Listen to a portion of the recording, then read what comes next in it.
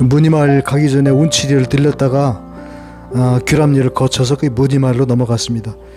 어, 운치리 쪽하고 규람리 쪽에도 어, 할미꽃이 만개했습니다.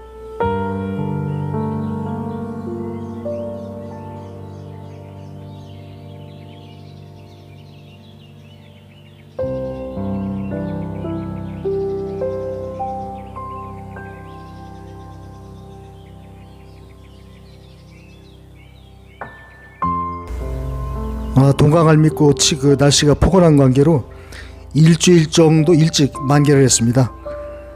아, 그래 요번 주까지는 뭐 괜찮을 것 같습니다. 근데 4월 초쯤 되면은 아마 끝물이 아닌가 이렇게 생각이 됩니다.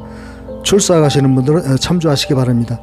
그리고 몇 군데를 동시에 들리려면은 그 지형적 특성을 좀 알아야 되는데 운치리가 가장 먼저 햇빛이 들어옵니다. 그렇기 때문에 운치리를 8시에서 어, 한 10시 정도만 촬영을 하고 나오면서 규람리를 잠깐 들렸다가 아, 그리고 규람리에서 문이마을까지는 1시간 정도 소요가 되니까 문이마을에 도착하면 한 12시에서 1시 정도 됩니다.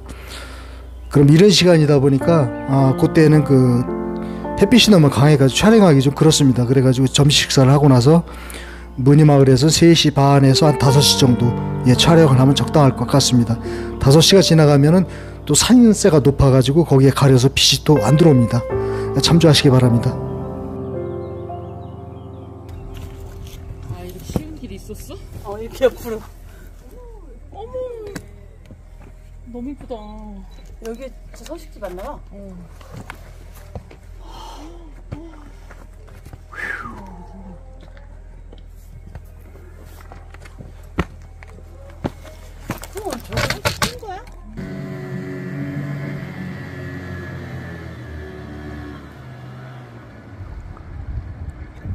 백령동굴 가는 그 잔도길이거든요.